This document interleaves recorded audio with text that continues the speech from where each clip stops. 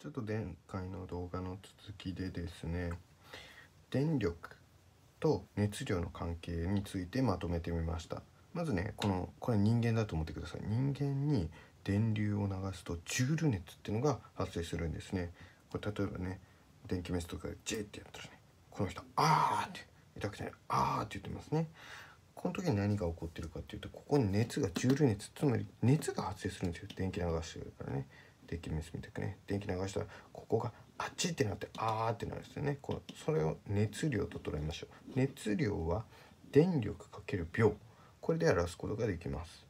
おっとなんか見たことありますね。これは電力というものはそもそも P で表すことができるんですがこれは電圧かける電流ですね。でうんとこれに秒数をかけると熱量つまり体が熱量熱に感染されるんですね。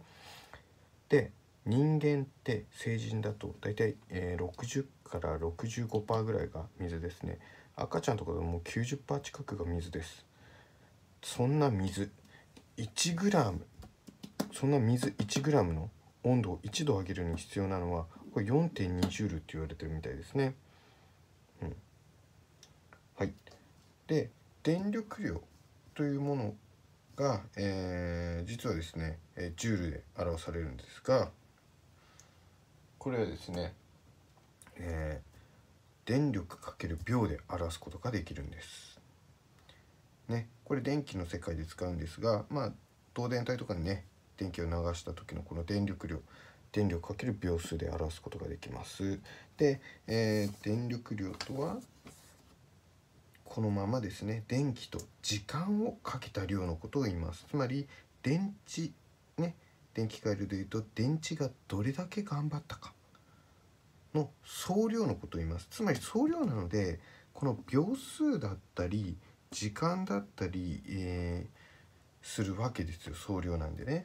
で時間の時はこの単位で使います。ワット時と呼ばれるものですね。これに対して電力量のこのジュールというのは電力かける秒秒を中心とした問題、えー、まあ表し方なんですね。うん、で、えー、電力量のワットの場合はですね電力かける時間 H なんです。つまり、えー、電力かけるこれ60分ねミニッツにすると、ミニッツになりますね60分。でこれさらにね、えー、秒に直すと電力ワットかける3600秒になるわけです。つまり1ワットは3600ジュール。ワットセックなんですよ。だからワット時で、えー、1ワット時で出た場合はこのようにね書き直すこともできます。それはどっちも電力量といった概念で電力というものに時間をかけたものです。そして電力ってそもそも何なのか。電力は、えー、過去動画でも、えー、説明したんですが1秒間に電気がする仕事のことです。電池がどれだけ1秒あたりに頑張ったか。ね、えー、それをワットで示すんですね。これに時間という概念をねエッセンスをかけてあげることにより、えー、熱量ね。とかね。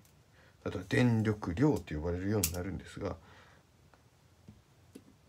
どっちもジュールですね。時間の秒を中心としたジュールといえばね秒を中心としたもので表してるんだな。そう思っていただければいいです。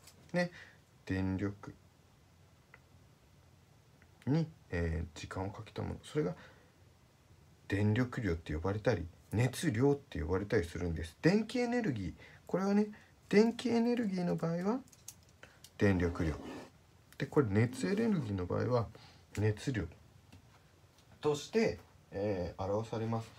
で、えー、私たちはですね、まあ、電気とかね、えー、いろいろね使うんですがこの電気エネルギーを、えー、利用すればですね光や熱を変換しやすくね、えー、制御しやすいのでこういうふうに使われたりもしますし、え、電気メスなんて主にそうですね電気エネルギーをジってね電気を流すとジュール熱が発生する。つまり電気エネルギーを熱エネルギーに変えてるんですこれつまりね。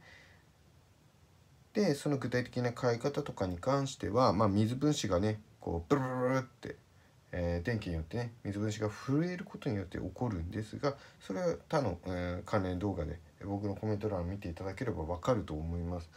まあね、医療現場でそういう電気、えーメスとかね電気エネルギーをえー熱に変えたりして使ったりしていますし計測でもね使ったりしてますしね、えー血中のね酸素飽和を調べたりねいろいろなものを使うんですね。その大元の概念はこのような、えー電力量と呼ばれる、えージュール熱だったり、まあ、ジュールと呼ばれるものが中心となると、えー覚えていただければと思います。今日はここまで。